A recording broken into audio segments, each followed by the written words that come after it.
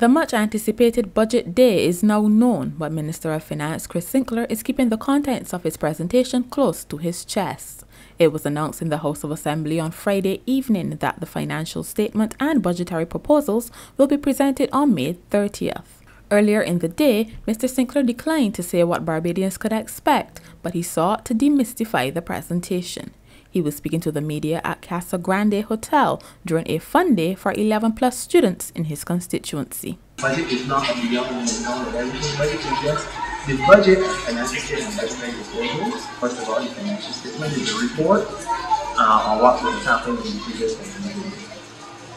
Uh, cent service cents, the last thing the budget.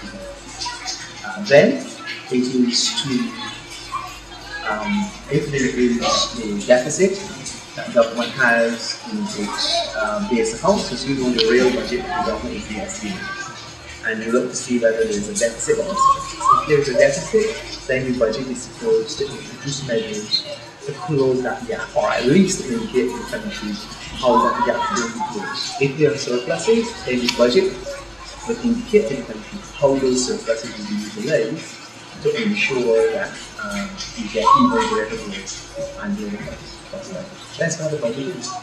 But a budget can is not designed, it's not intended to, it cannot be designed to solve every problem that you have the. If that were the case, you would only need one budget.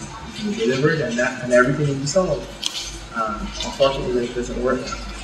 Uh, and don't forget, budgets tend to be delivered annually. Yeah. There's a 12 month period. 12 months might seem like a long time, but really is not a very long time um, between when you deliver one and deliver sometimes some measures um, new budget will come some of the measures that you announced previously, all of them have not been implemented.